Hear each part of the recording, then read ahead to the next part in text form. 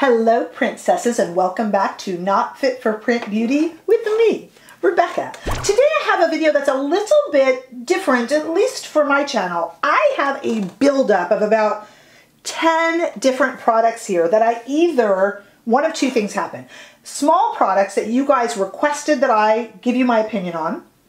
Uh, so I purchased them, but they were kind of too small to merit their own video um, or big products that got held up a little bit and they're no longer as immediate and fresh as I like to get content up. So they're kind of leftovers, but they're all brand new product and Gosh darn it, I had enough to make a full face. So that's what we're gonna do today. Let me tell you what we're gonna be looking at. I am gonna come back with nothing on my face and I'll tell you what we're gonna see. Today we're gonna look at the brand new Lawless Conseal the Deal Long Wear Full Coverage Foundation. We're gonna pair that with the new Anastasia Beverly Hills Magic Touch Concealer. Then we are going to go in with the new Huda Bomb Brow Fiber Brow Gel. That's a mouthful. We are going to look at the uh, Westman Atelier Eye Pods. I bought the shade Rendezvous. They're $88 we'll talk about that in a minute. I have the Rose Inc Divine Cream Dewy Cream Blush, which is awesome. I'm just going to tell you right now. we have one of my favorites. We have the LYS Aim High Press Powder Highlighter. I love their packaging, so I'm excited to review that. We have the new Ilia Fullest Volumizing Mascara. Love it. We are looking at the brand new Melt Perfectionist Lip Pencils. I've got quite a few shades of that that we're going to look at. And we have Item Beauty by Addison Rae Lip Quip Clean Moisturizing Lip Gloss. And the shade is Hey y'all! I just wanted to say that, but that is the name of the shade. So I am going to come back. I think that's everything we got. We're going to be using some of my favorite brushes. I'm going to be dropping things on the floor. You know how it goes with me. So stay there. I'm going to come back with literally nothing on my face, and we are going to put this look together that you see right here. So stay put. Okay, here I am completely fresh-faced, or as fresh-faced as I can get, really. And we're gonna just get, we're gonna dive in and get started. So let's start with our foundation. As you know, from me mentioning it earlier, this is the Lawless, it's new from Lawless, the Conseal the Deal Long Wear Full Coverage Foundation. This little guy is $39 and I went ahead and got it in the shade Sesame. Listen to it. Doesn't sound like full coverage, does it? That's full coverage? I don't usually like full coverage, but I get compliments when I wear full coverage, so it's like maybe I should take the hint. So I'm shaking it up. Gosh, it sounds like the kind of thing I would like that's liquidy, right? And not very full coverage. So let's see. I am dying, but I'm not gonna do it, but I'm dying to use. You guys have got to see this. So Base Blue, the cosmetics company, indie company, Base Blue, sent me this makeup sponge. Take a look at it. I'll zoom in on it. It's a ghost for Halloween and if you put it under a bright light and then put it in the dark, it glows green. It is by far the cutest darn thing I have ever seen in my life, I'm dying to use it, but I won't. I'm going to collect it.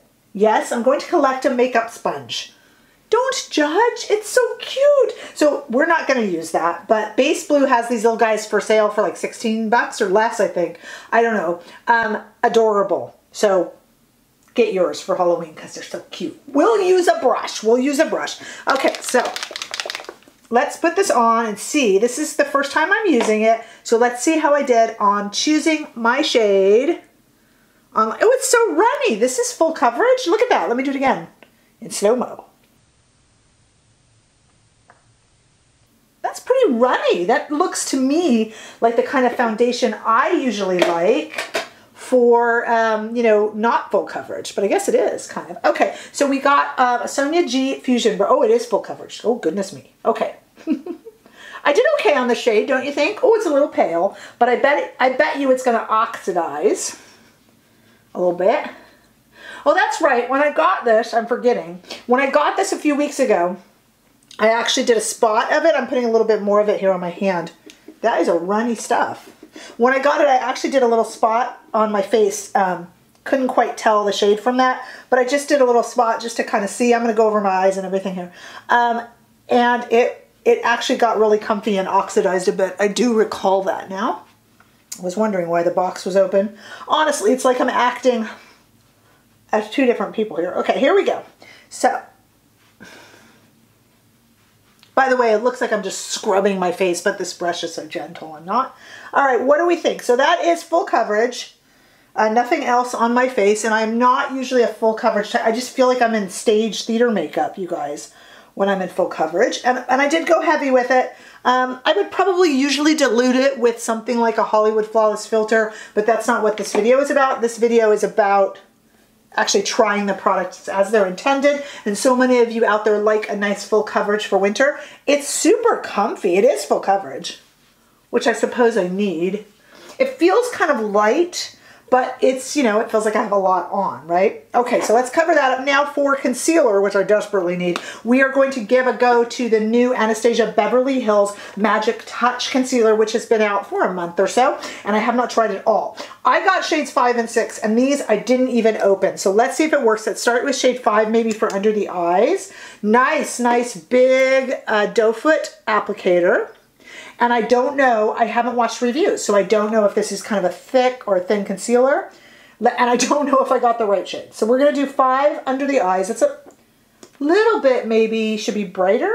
Let's just use the same brush and just be real gentle because I don't mind if I get it uh, on the eyes. Let's see how it looks, guys. Whether or not to use a brightening shade of concealer under the eyes um, is, is kind of comes and goes with the times. That actually looks more like my skin color, but I'm okay with that. And the other shade I got, the six for the rest of my face, should be a little bit, let's see. Again, same doe foot applicator. Let's put it kind of here, here. I got kind of good skin today. Oh, I have some veins that show here. I'm having trouble seeing the difference between shade 5 and shade 6 that's why I went ahead and used the lighter one under the eyes. And yes, I'm just going ahead and using the same brush. It's all blended in. Okay, so now we kind of have a base set. This, so far, this, um, I have not worn this foundation all over the face, just a dot, but so far it's very comfy. I'm still kind of feeling like it's a little bit light, and I don't have a bronzer out here. It's not sticky. I'll tell you that, it's not sticky, and it's wearing and feeling like a serum light to medium foundation even though I can even tell it's much more full coverage than what I'm used to, but with the feeling of lighter coverage. And usually what people like me, and maybe you object to, is that thick feeling of cakey foundation in a full coverage foundation. And I'm not finding that to be happening here. Okay, now the product I'm actually most afraid of, this is the Huda Bomb Brows Fiber Brow Gel in Rich Brown.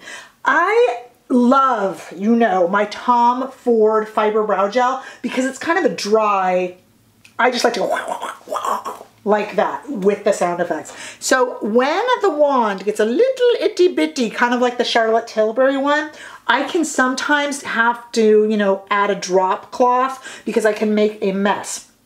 And if the product stays wet, which I fear this one will do, when I go to brush them, it goes up here and also makes a mess. It is perhaps, let's give this a try here as I talk. It is perhaps because I do not wax my brows, I just kind of pluck them a little bit. And in doing so, some of the more wet fiber brow gels, I'm being really careful here, will find the little baby hairs. See, if you wax, you're going to get a really straight, you know, clean area there. But if you're just kind of plucking obvious hairs, you definitely have some baby hairs and it can find those and it looks a mess. Um, and that's usually my problem with these. So far so good with this, but I'm being very careful because I'm on camera. If I were not on camera, would I be this careful? I don't know. How are we liking the color of this foundation, by the way? Oh, look, I've already made a little bit of a blotchy mess. I'll let that dry first. See, I'm starting to get too comfy, guys. I'm going too fast. Okay, but I'm brushing them up and I'm going to let them dry. Okay, so this is, see, see, uh, this is what I mean. Uh, you know, I can tell you already that this is not a bad product at all, but it, it reminds me very much of the Charlotte Tilbury cover colored brow gel, shaded brow gel. My brow gel of choice is definitely Tom Ford. If not, I like a clear one and then I just use a pencil, you know. Um, I don't think this is a bad product, but I can tell you already, I don't like those little fussy brow products. Okay, this feels like it needs some bronzer to me, which is the one thing I don't have out here. What do you know? Okay, let's go with the, we have some highlighter, we have some cream blush. Let's put on the cream blush by Rose Inc. This is the Divine Cream Dewy Cream Blush. And I bought the shade Heliotrope. It is $30. By the way, let me back up and tell you that the Anastasia Beverly Hills concealer, which seems to be actually quite a good one if you're in the market for a new concealer, was $29 and that Huda Bomb Brow that I am probably would need a drop cloth to really use is $19. Okay, so we have the Rose Inc. They're a relatively new brand being uh, carried by Sephora. Um, and you know who they are. They're a young company. This is $30 in the shade Heliotrope. And it is yet another in a long line of cream blushes that I have not tried. This looks like it's kind of cream to powder, actually. So I went ahead and put it on one of Sonia G, Sonia G Fusion brushes. That's good for that. And let's see what we get here. Very pretty shade. I hope all the shades I have here go together well. Oh, pretty, this is interesting. This kind of, my brush kind of drags on it a little bit. Um, the way a liquid blush would feel, the way a powder blush would feel, it dra the drag on it is more powder. But it is a cream blush. What a pretty blush. You know, you guys, it's tough because Rose Inc. is a small company. And we're all kind of cream blushed out. But let me tell you, that does that look like a powder, that's good for someone like me. I'm trying to overdo it so you guys can really see the shade. This is good for someone like me who it tends to, I tend to go for powder blushes, but I'm kind of applying it like a powder blush. That's really pretty. It's a little bit Aunt Sally because I wanted you to see the shade. I'll do a little swatch of the shade here for you. Let me get my bracelets out of the way on my arm as well, just so you can kind of see it there. What a pretty kind of rosy pink. Isn't that pretty? Okay, Let's move on to a highlighter. For our highlighter today, I'm looking around my table here. For our highlighter today, I have a new one from LYS. Their Aim High Pressed Powder Highlighter. LYS has such beautiful packaging. And if you've never tried LYS before, they are a really lovely young company, um, also at Sephora that makes some beautiful products. So here it is. I got the Aim High Pressed Powder Highlighter in the shade genuine. This is maybe a little bit dark for me, but lately, for some strange reason that even I cannot explain, I am kind of liking slightly darker highlighters. No, there's no reason for it. I just kind of like it. So let me go in there. Isn't this pretty? And I'll do a little swatch, but let's just put it on here. Somebody once said to me, you're using such a big brush. Well, why not? Go big and go home. That's what I always say. Okay.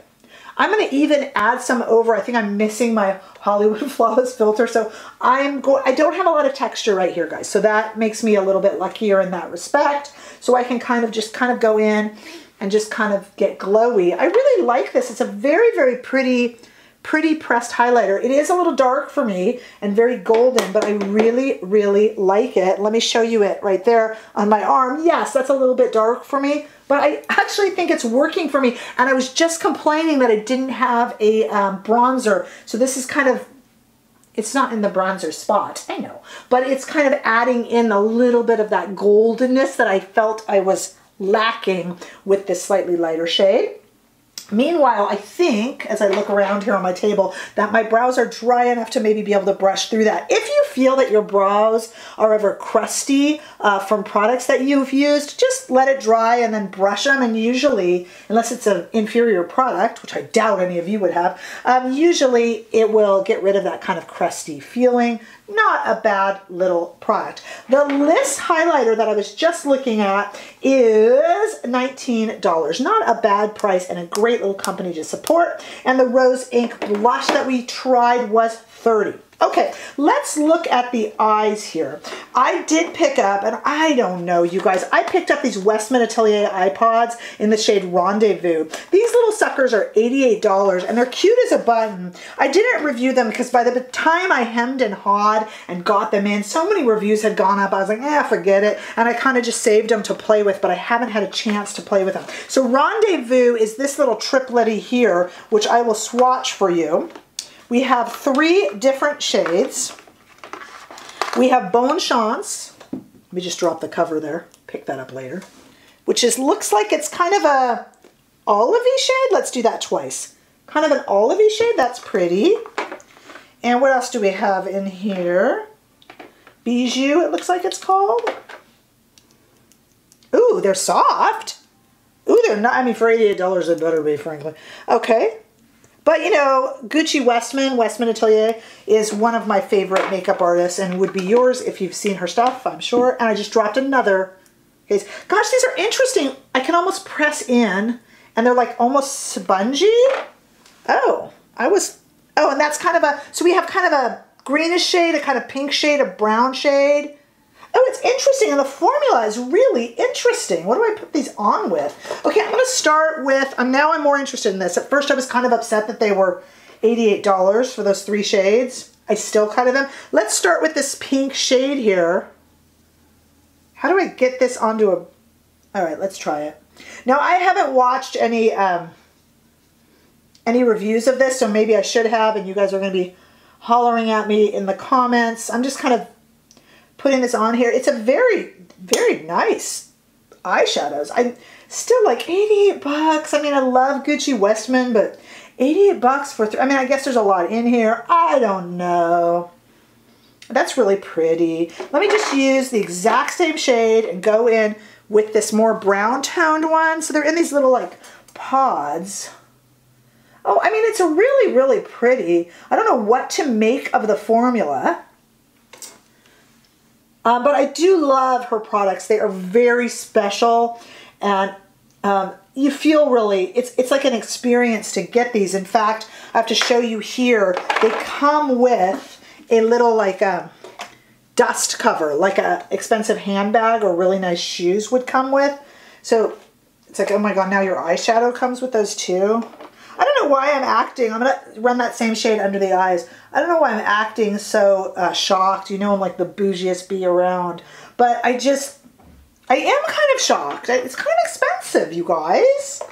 You know, I mean, we're not made of money. Let's use that green shade here and just kind of accentuate. I, I will get back to you guys on these. I am, I think it's really, really pretty. Um, very subtle and very pretty. Uh, I could do a lot subtle and pretty that's not $88. I am not trying to throw shade at Gucci Westman because she's amazing, um, but that's really expensive. And there's a lot of like fancy schmancy packaging to it that I, and we pay for the packaging, you guys. We totally do. It's a very pretty eye look. That was $88, that eye look. You know? Okay, comment me in the comments. I'm ready. I like the discussion. That's fine. All right, let's look at this Ilia.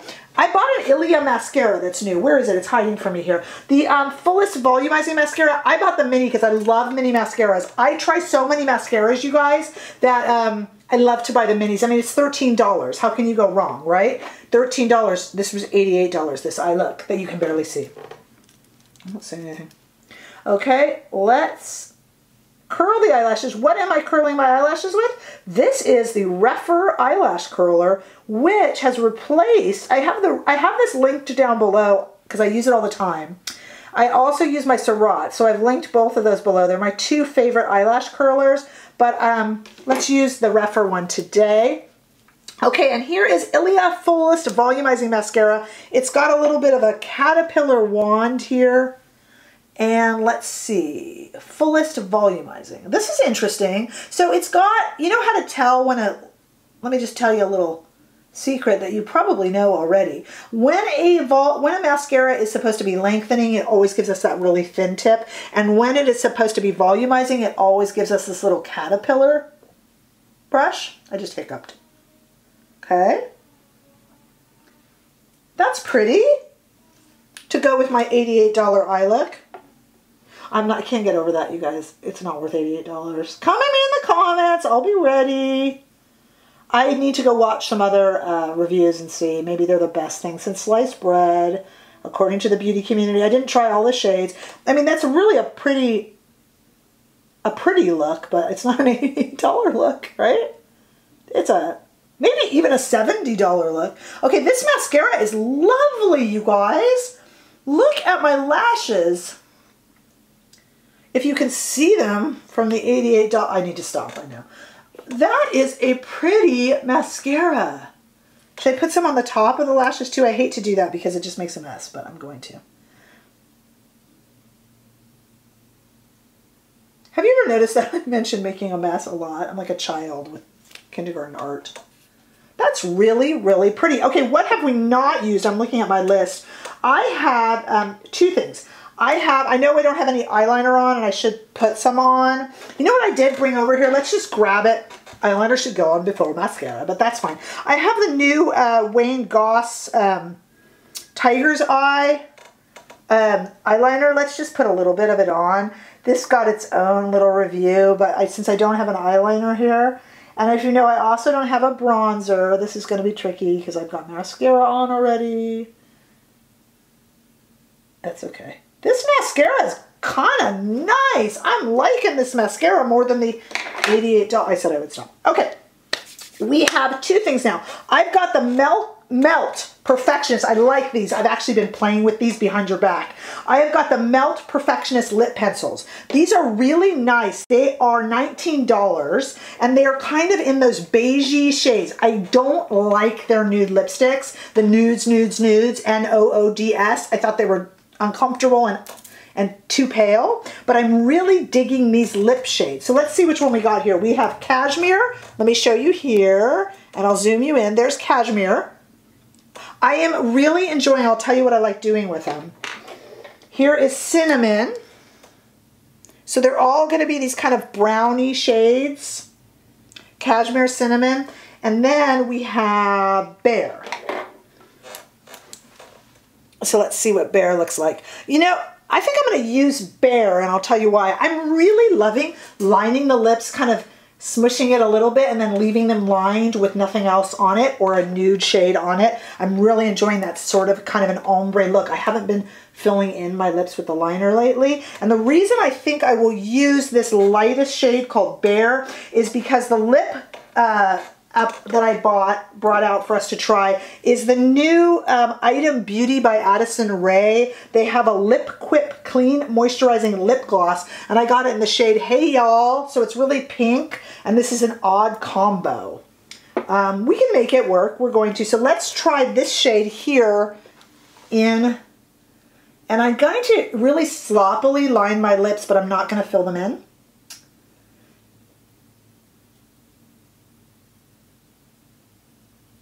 I should be humming for you.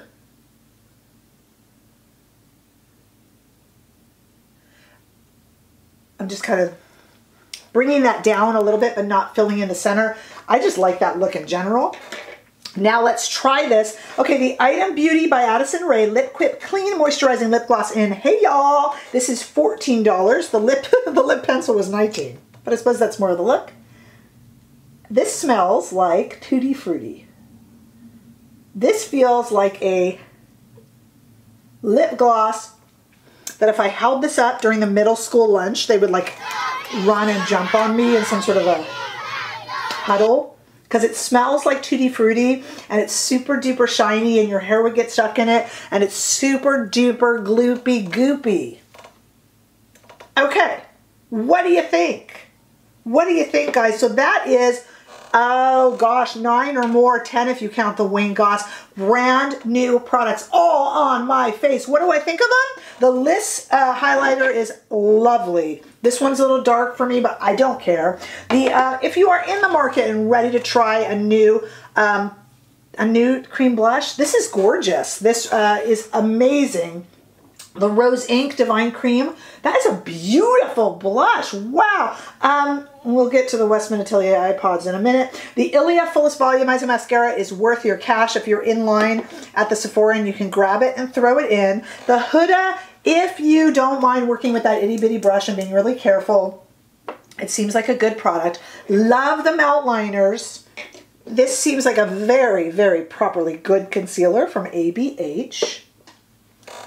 What do I think of this? Well, you know what? For a full coverage foundation, the Lawless Conseal the Deal Longwear Full Coverage Foundation seems to be pretty awesome. I love that it has that kind of a um, serum-like feel that would normally only be in a light coverage foundation. And I am kind of liking it and feeling like it's wearing. Actually really nice on me. Probably could have gone a little darker with the shade, but as it's oxidizing, you guys, I'm really enjoying it. I like the look at, all, at completely all of it. The Westman Atelier, like joking aside, it's a very pretty eye look. It don't spend $88, please. I'll have to see what other reviews say. But I mean, you know, I, I'm I'm liking the look we got going here, but my least favorite part is this because I just feel a little bit cheated for 88 bucks. Like I said, come at me and let me know what you think. Did you pick up any of these? Was this helpful in some of those little bitty products that um, we? I know you guys wanted to look at my thoughts on. I'm so appreciative of you asking. So do let me know. I'm actually really happy with this. Uh, leave your comments below. Give this video a thumbs up if you enjoyed it. I sure hope that you did. And if you haven't already done so, please subscribe to my channel. I will see you all the next video. Bye-bye.